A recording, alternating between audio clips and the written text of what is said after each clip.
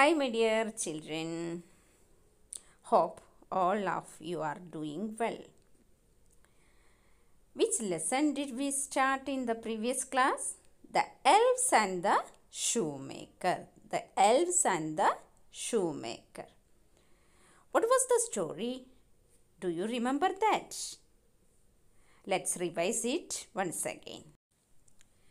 Boris, named shoemaker, lived in a little house with his wife Emma. What was the name of the wife? Emma.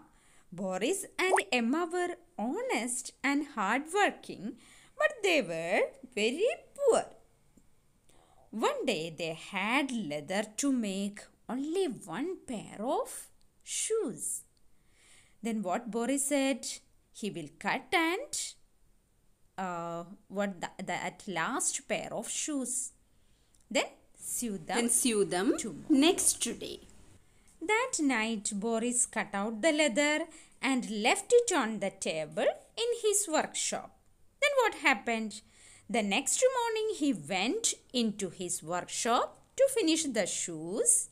But what happened? Yes, a new pair of shoes were there on the table. The shoes were so comfortable that Boris sold them quickly. He was so happy with the money that he got by selling the shoes. He bought leather for two more pairs of shoes. Isn't it?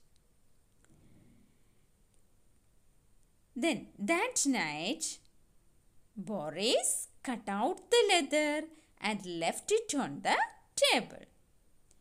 The next morning, he went into the workshop and what did he find there? Two pairs of shoes already made. Boris sold those shoes also quickly too.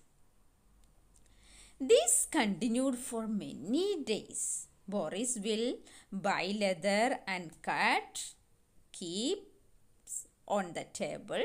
When he check in the next morning, new pair of shoes will be there on the table.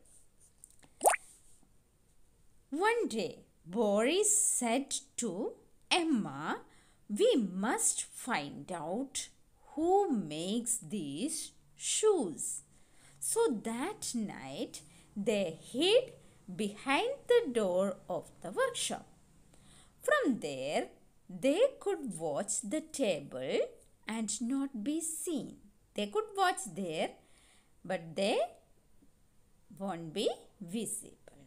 Okay, there we stopped in the previous class. Now, then, what happened? That we will. Boris and Emma were discussing about these incidents and they have decided to hide behind the door of the workshop. From there, they could watch the table and not be seen. And they hid behind the door at midnight. What did they see?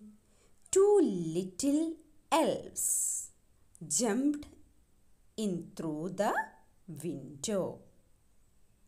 Two little elves jumped in through the window. The elves wore torn clothes. They don't have good clothes. Their clothes were torn and they don't have shoes, but they were smiling and very happy. They began their work and completed work and jumped out of the wind. Next morning, Boris and Emma decided to give something and do something for these helpful elves. Emma said she will make new clothes for them, and Boris said he will make new shoes for them because the elves are helping Boris and Emma. Now they began to make clothes for them and shoes also. Emma started to stitch clothes and Boris started to make clothes uh, sorry shoes for elves and they kept both shoes and clothes on the table boris and emma hid behind the door of the workshop at midnight the tiny elves skipped into the workshop. When they saw the clothes and the shoes, they were amazed, surprised. They clapped their hands in joy and put on their new clothes and shoes. Very happily, they, were clapped and danced and jumped up on the table and danced there because they were very happy to get these clothes and shoes. Then what they did? They skipped out of the window. Both elves skipped out of the window. Boris and Emma never saw them again, but they never forgot the kind and helpful elves. Both elves never came there, but Boris and Emma remembered them every day. Children, take page number 69. Let's read our lesson. The remaining part of the lesson. The elves and the shoemaker. Okay. At midnight, two little elves jumped in through the window. Boris and his wife hid behind the door of the workshop to find out who is helping them. From there, they could watch the table and not be seen. Okay. Then at midnight, midnight means what? Yeah, 12 o'clock or after 12 o'clock. Two little elves. Two little elves. Elves are the magical creatures for the story, stories. Okay. El, elves. Plural form of elf. Jumped in through the window. They came through the window. The elves wore torn clothes. Wore means what? Past tense of wear. Torn clothes. Torn clothes means it is not uh, good clothes. It has torn clothes and they had no shoes but they were smiling. They don't have shoes and good clothes but they were smiling. They were happy. They skipped to the table. They jumped to the table and began to work on the leather. And they started their work. Their needles flew back and forth. Their needles flew back and forth. Back and forth means from one place to another and then back again. Have you observed how mothers or any other elders are knitting with thread and needle that is back and forth? Their hammers beat rapid tap tap. Hammers means what? Tools with a heavy metal head and a wooden handle. Hammers. Soon the work was done Soon they completed their work. The work was done and the elves jumped out of the window. They completed their work. They made shoes and kept it over on the table and they jumped out of the window. Okay. The elves' hammers beat rapid tap tap. Try this at home and see if you get the following sounds. Plop plop. What is the sound of plop plop? Water drops falling from a tap into a bucket. Jingle jingle. When your pocket is full of coins. Rat tat tat. When you knock on a door. You try these three uh, sounds. Then you can enjoy that. The sound plop plop, jingle jingle and rat tat tat. You can do at your home. The next morning, Emma said, Boris and uh, his wife were hid in the hid behind the work uh, door. They saw everything. The next morning, Emma said, Who is Emma?